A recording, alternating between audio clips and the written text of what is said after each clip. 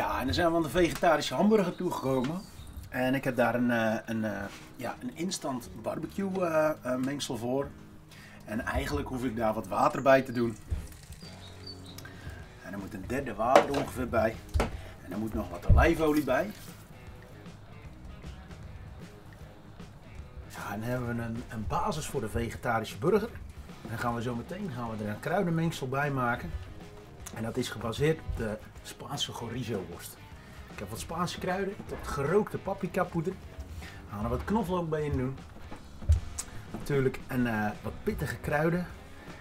En dan gaan we hem op smaak brengen met nog wat kaas. Normaal is het natuurlijk dat de kaas altijd aan de bovenkant geeft. We gaan het hier gaan we het aan de binnenkant doen. Dat maakt deze hamburger zo leuk. Ja, als dit mengsel goed gemengd is, dan laten we het even rusten. En dan kunnen we ondertussen kunnen we alvast wat uh, groenten snijden voor er doorheen. De drie teentjes knoflook doe ik erbij. Ik heb twee slotjes gebruikt. En dan gaat het erom dat je de eerste keer zo fijn mogelijk snijdt. En dat is omdat je dan zeg maar, daarna hoef je niet zo vaak meer de langs te gaan met je mes om het nog fijner te krijgen. De eerste keer is het allerbelangrijkst. Peterselie kun je ook gewoon lekker fijn snijden. Kijk, en dan heb ik een kruidenmengseltje gemaakt. En het kruidenmengsel bestaat uit paprika poeder, uienpoeder, wat knoflookpoeder en ja, die kan er helemaal door. En dan wil ik nog wat grove peper en zout erbij. Dalmatian rub. Om het helemaal op smaak te brengen. Te veel. En voor de binding gebruik ik een eitje. Ja, en om het af te maken, we zeiden het net al, ga ik wat Manchego kaas daarbij doen. Zo, wees ook niet te zuinig ook hè. Gewoon lekker, veel kaas erin. Ja, en dan nog even mengen.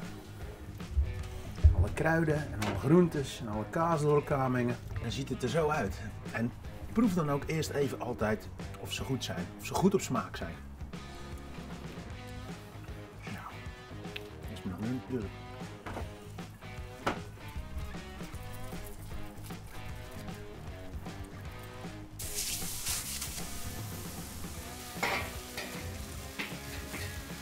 Dan zijn ze mooi aangebakken.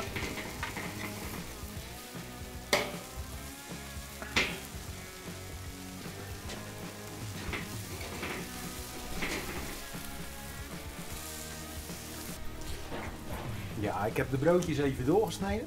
We hebben nog een takje voor uh, als peterselie als afgarnering. Maar eigenlijk op deze burger hoeft hij eigenlijk bijna helemaal niets meer. Omdat het gewoon allemaal in die burger zelf zit. En dat maakt die vegetarische burger ook gewoon echt zo leuk.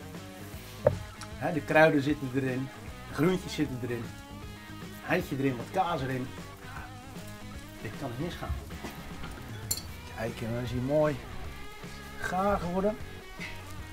Doorgegaard. En dit is dan vegetarische burger.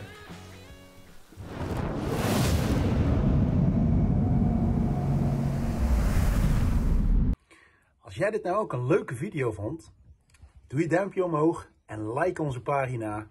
En ga naar ons YouTube kanaal van Barbecue Battle en abonneer jezelf. Tot de volgende keer.